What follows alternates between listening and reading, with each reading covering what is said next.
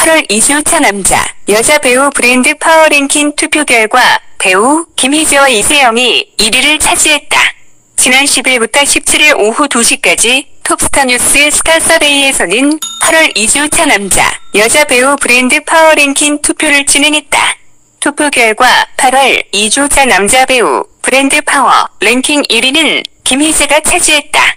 김희재는 총 투표수 137만 8,080표 중 58만 9,178을 받으며 1위에 올랐다. 김희재에 이어 2위 김선호 21만 6,930표, 3위 연우진 10만 3,620표, 4위 방탄소년단 V 5만 5,500표, 5위 장애인 5만 4,540표, 6위 이준기 4만 8,570표, 7위 이상윤 4만 7,520표, 8위 김남길 4만 4,850표, 9위 김우석 3만 8,100표, 10위 박서함 3만 7,950표, 2, 10위 안에 이름을 올렸다. 같은 기간 진행된 8월 2주차 여자 배우 브랜드 파워 랭킹 1위는 이세영이 자리를 지켰다. 이세영은 총 투표수 36만 7,350표 중 20만 7,278을 얻으며 1위를 유지했다.